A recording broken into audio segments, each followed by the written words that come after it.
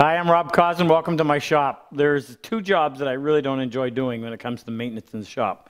One is changing and setting jointer knives, and the other is changing and setting knives on thickness planers. Major pain. I have refit four different machines with a Byrd head. Now that's a segmented head, little chiclets, about three quarter inch square that go all the way around the head.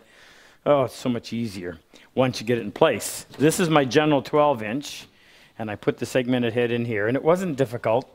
You had to uh, obviously take it, take the uh, blocks that hold the uh, bearings out, but once you pull it off, put the bearings onto the new head and install it. Now I had to shim this one because it, unlike the original, which had straight knives that you would simply make parallel to the infeed table or the outfeed table, this one you have to make sure that the top of the cutting circle is parallel to the outfeed table, and that's why the shims. But I want to show you the one that we just did. This is on an 8-inch Delta.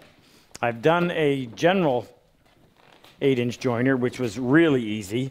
Literally just had to take it out, put the uh, bearings on, put the blocks on, and they were there were two screws on the bottom, one on either side. It probably didn't take any more than 20 minutes.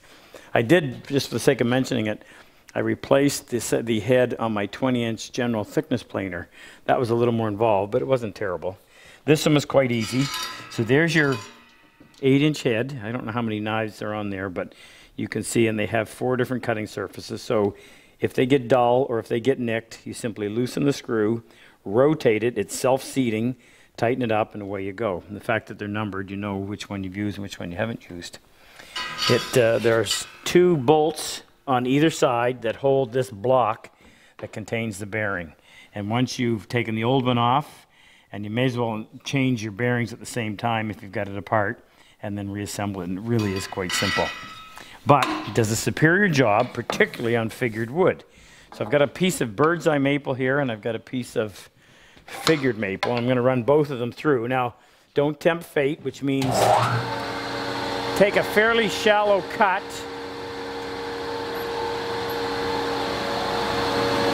And don't go really fast.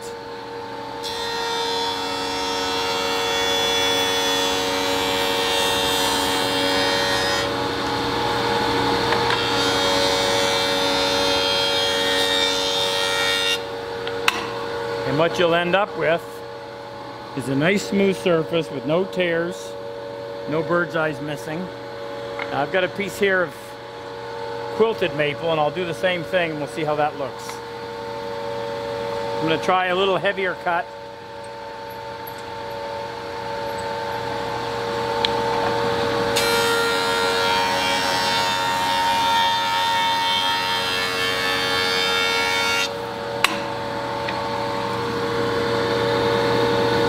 Pretty smooth. You run that through with a straight knife and oftentimes you'll have a lot of tears in there.